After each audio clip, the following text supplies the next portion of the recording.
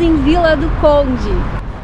Saímos com sol de casa, mas infelizmente agora a gente não sabe nem qual é essa praia aqui, porque o intuito não é hoje ir na praia, porque o tempo tá muito feio. A gente vai olhar outros lugares da cidade, faz tempo que a gente quer vir para essa região. E, e vamos deixar a região litorânea que são mais ou menos 20 quilômetros de litoral para um próximo dia. Só temos uma parada aqui para dar uma olhada nessa praia, mas tá frio e tá feio, fechado o tempo. Nós vamos tirar um fim de semana para fazer todo o litoral da região aqui de Vila do Conde, que são, se não me engano, 18 quilômetros, e aí vamos passando pelas vilas e pelas praias para conhecer cada uma e a gente vai fazer um vídeo completo. Mas aqui, ó, Estamos em direção bem pertinho já, a um quilômetro do Forte São João Batista. E aí a gente parou para dar uma olhadinha, ó. Terem uma ideia, o mar tá bem agitado e frio. Tá frio, infelizmente, de novo. Tava bem bonito o tempo de manhã e agora tá frio. De Conde é uma cidade que tem mais ou menos 80 mil habitantes. É uma cidade muito antiga que faz parte da história de Portugal. Vila do Conde aí tem documentação já provando que a existência da região aqui, as origens lá na, no século X, por volta de 900, no ano 950, aí dá para ter uma ideia quanta história linda que tem essa região aqui, né? Eis aqui então o Forte São João Batista em Vila do Conde a construção dele provavelmente foi concluída no século 17, mas iniciada no século 16, por volta de 1560. É um forte que foi um forte militar, claro, na beira da praia, né, para guarnição dessa região. Mas hoje em dia, né, além de ser um monumento protegido como histórico pelo patrimônio, né, de Portugal, é também um ponto turístico da cidade. Vamos ver se tem mais alguma coisa aqui na frente. Mas, como podem ver, ele não tem acesso a ele, né?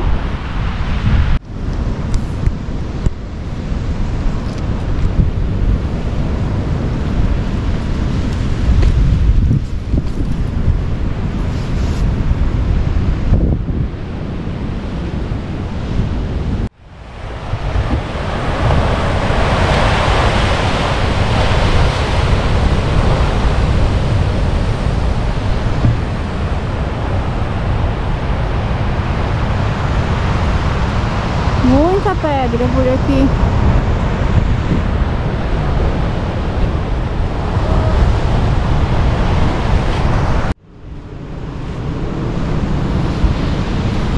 Oséias entrou ali, deu uma espiada numa porta que tem ali semi-aberta e dentro desse forte aí, a princípio tinha restaurante e alguma outra coisa comercial que está em reforma no momento. Esses fortes são impressionantes, imaginem, 1600 mais ou menos ele foi concluído, 1650. Acho que aqui, ó,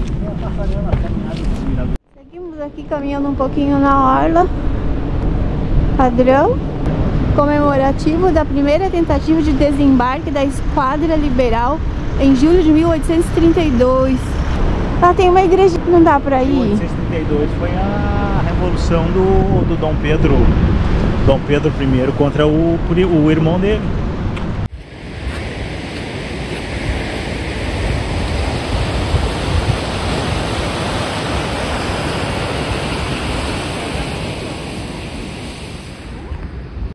Aqui então, gente, estamos na capela Nossa Senhora da Guia, bem na orla, na beira da praia.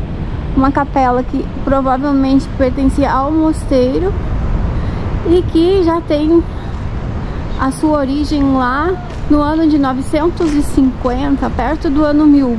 Vamos conferir aqui. É, do ano 953, ó, a gente já tem... Já existia aqui no inventário do Mosteiro de Guimarães, essa capela já constava.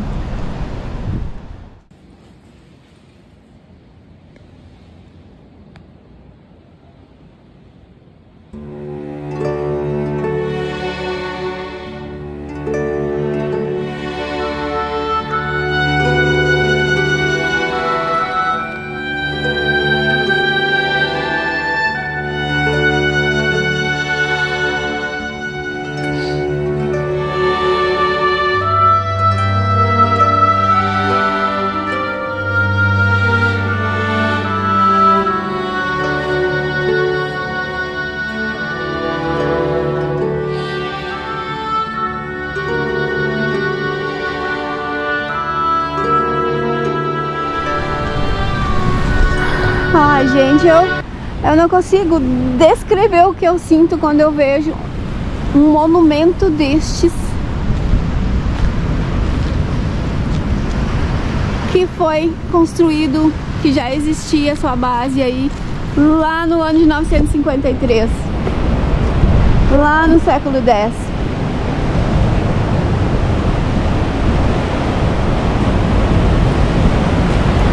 Isso pra mim, eu vou repetir mil vezes em cada vídeo que eu fizer.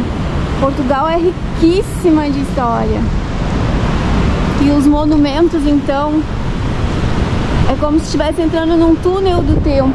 E aqui tá tudo muito bem cuidado, muito bem pintado. O Oséia subiu lá em cima, mas não vou me arriscar não.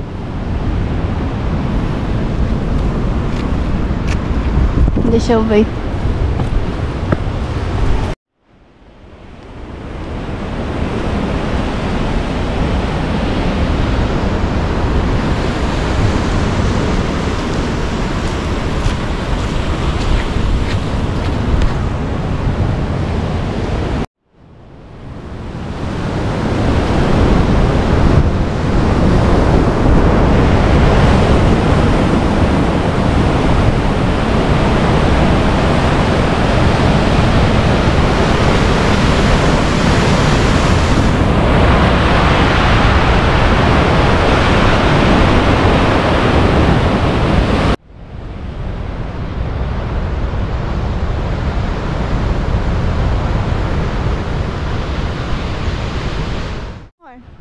O que, que é ali?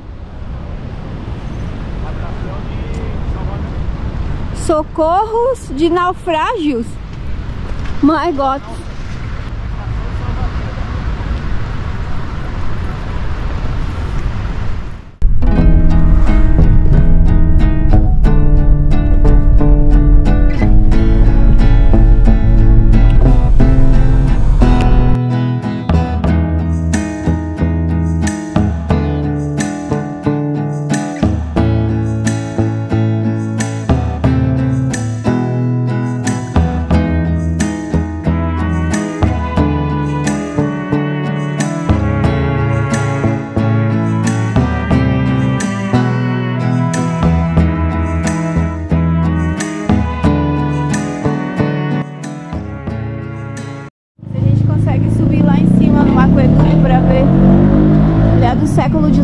XVIII, é, pertence ao convento de Santa Clara e é aqueduto de Santa Clara, o nome dele.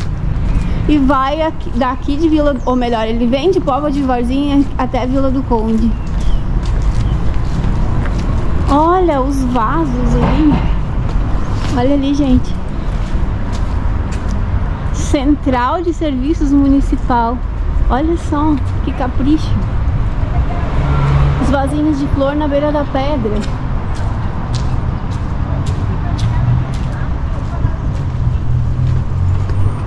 Vamos ver se a gente sobe.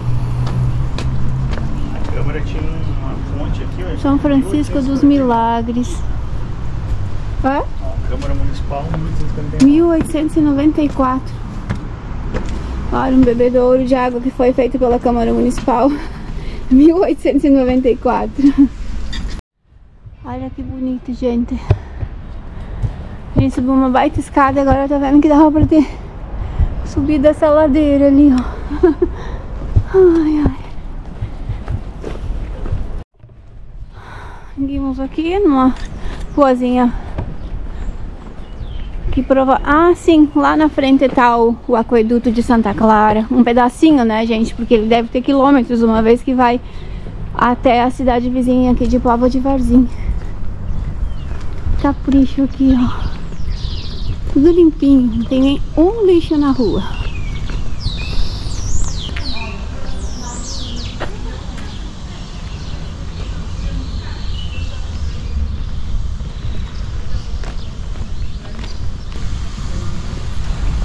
Lá dá pra ver o mar. Lá embaixo. E aqui uma parte então do aqueduto. Que tem quilômetros. Olha que lindo, gente. Se vai.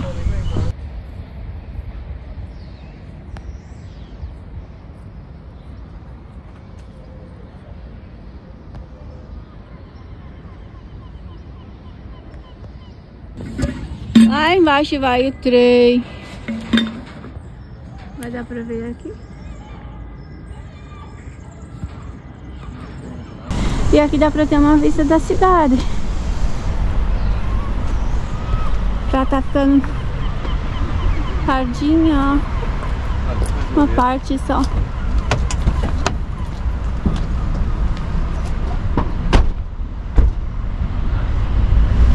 Igreja belíssima, mas tá em reforma, então não dá pra entrar.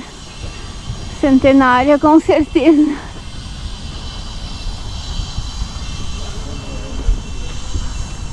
O que, dá pra ver daí? Vinha, vinha até aqui ou saía daqui? Essa é a dúvida. Se esse aqui é o convento de Santa Clara, então vinha até aqui, desde Pova de Varzim.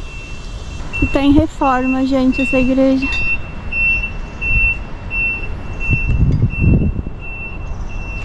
E aqui estamos embaixo da aqueduto, esses monumentos gigantes que era o que se tinha antigamente, há séculos atrás. A água passava lá por cima, lá por cima e era levado por quilômetros às vezes até chegar nos lugares, no caso esse aqui, até chegar no convento. Vão refazer um jardim aqui. Ali tá tudo em reforma, ó, gente. Nossa, uma baita reforma. Complexo gigante aqui. A igreja. Lá deve ser o convento na frente. Então é o mercado público, a parte da frente, ó, gente. Deve estar tá quase fechando. Quase 6 horas da tarde. Bem bonito, ó. Ah, e lá dentro é onde ficam as barraquinhas, então. E aqui é a igreja que vamos ver se dá pra subir ainda. O dia já tá São João Padroeiro, São João Padroeiro, Padroeiro de Vila do Conde.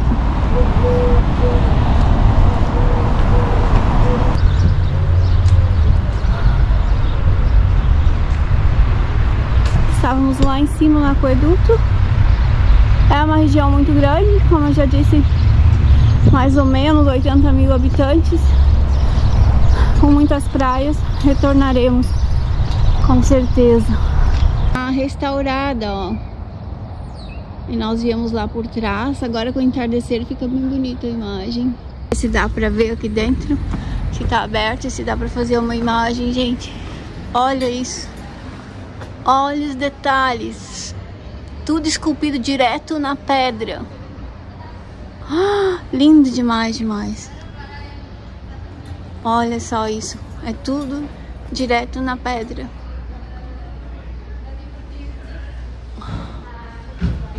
Olha essa porta.